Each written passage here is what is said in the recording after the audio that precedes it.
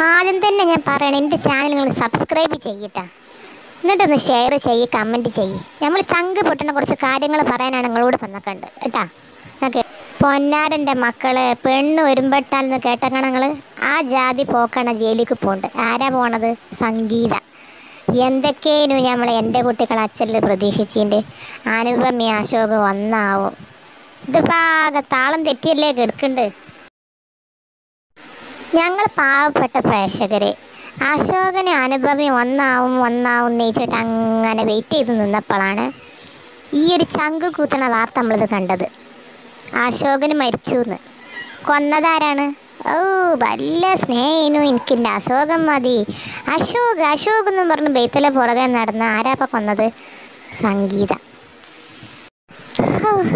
എന്റെ പൊന്നേ ഈ നിൽപ്പ് നമുക്ക് സഹിക്കാൻ പറ്റുമോ എന്തോരം സ്നേഹത്തിൽ കഴിഞ്ഞതേനു ഇവർ ആ പണ്ടാറക്കാലത്ത് സംഗീത ഇവർ ജീവിതത്തേക്ക് അങ്ങോട്ട് കടന്ന് വരലും ആകെ നാസി കൂസി അങ്ങോട്ട് ആക്കി.